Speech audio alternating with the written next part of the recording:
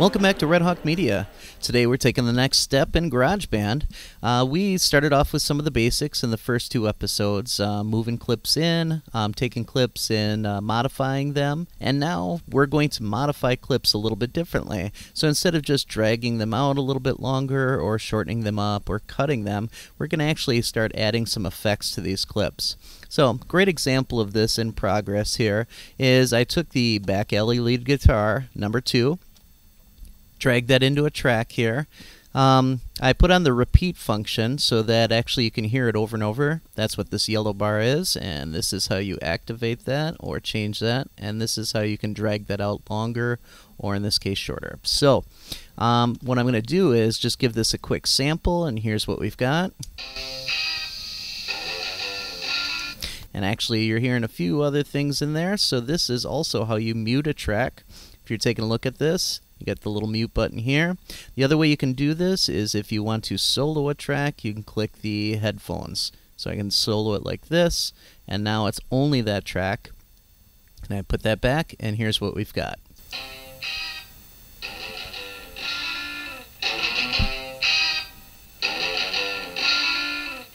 All right, you get the idea.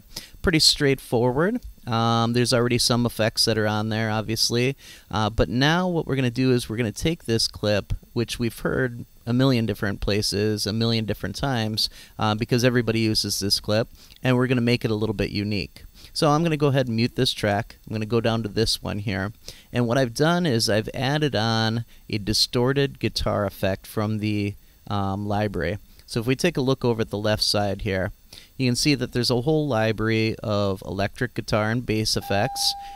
And then I added the distorted guitar one with Maelstrom here.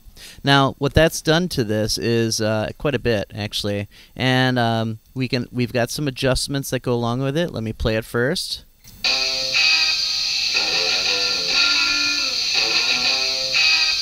And now you've got that hiss in the background. It's got a little bit more reverb, a little echo. Um, there's a lot of effects that are added in there. Now, if I want to tweak this effect, what I can do is I can actually bring up the effects. And here's the button we're looking at for that right here, all the way up in the upper left-hand corner. And that's going to pop up at the bottom the actual effects for this uh, particular distorted guitar. So now I can go ahead and mess around with the tone, make those changes. Now this is where the repeat function actually gets pretty handy because I can hit play, let it play over and over, and then make my changes on the dials here as it goes. Now here's another way that we can actually affect this. Let's go ahead and mute that track, and I'm going to go down to the bottom one here. And right now, uh, what we've got is we've got the built-in EQ that's set up. Now the EQ, if you click on the dial up here again and bring that up, that shows the EQ. These are the basic settings with nothing on here. And then I can click compare to go back and forth between my settings that I'm going to add on and the original settings. So right now, let's go ahead and take the low put that up, take the mid, bring that down, take the high, take that up, and then I'm going to take the reverb and add just a lot of reverb here. And now we're going to go ahead and give that a sampling. So there's that one. We go back to the original, solo that. Obviously a big difference between the two.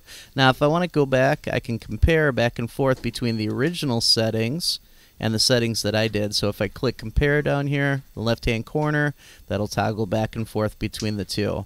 Alright, quick way to customize clips, very easy to do, um, and uh, that's what we're going to be working on next in this third episode of uh, GarageBand Basics.